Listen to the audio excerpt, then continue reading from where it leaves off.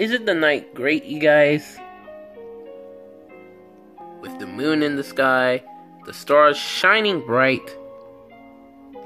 It's really an amazing sight to see. Yeah, but we see the stars all the time, so it's not really anything amazing or new. But do you know what is amazing, guys? What? Our kingdom. Oh, yeah, true.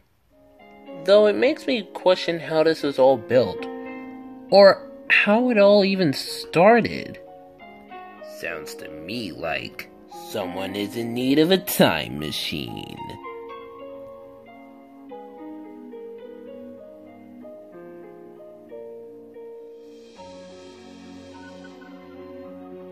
Uh, who are you? I'm Kevin. I'm one of the troops who fought in the war. What war? The war against the Puffstoll Jr. The Puffstoll Jr.? Who's that? An old enemy of this kingdom.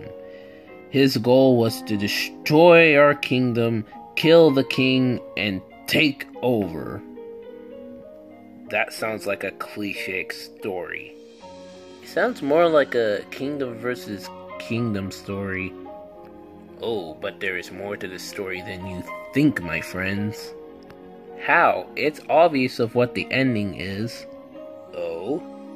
Yeah, cause if there was a war, then we clearly won, because if we didn't, we wouldn't be here today. Yeah, and clearly I don't want to listen to this cliche story. Yes, you are all right. We did win the war. With the king's glitchy powers. Glitchy powers? Yes, glitchy powers. But answer answer me this question first. Where did our king get his powers from? Like, where did they even originate from?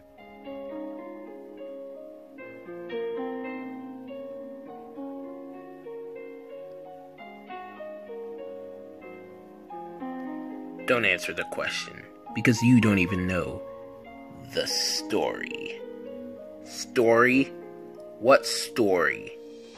The story of Waton and Zitnam's greatest adventures.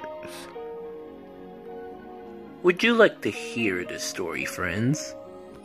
Sure. Alright, I'm in. Well, if it occupies my time, then I might as well listen. I'm glad we came to an agreement, friends. And I guess since you don't know the whole story at all, I'll guess I'll have to start at the way beginning. Or as they like to call it, Chapter 1.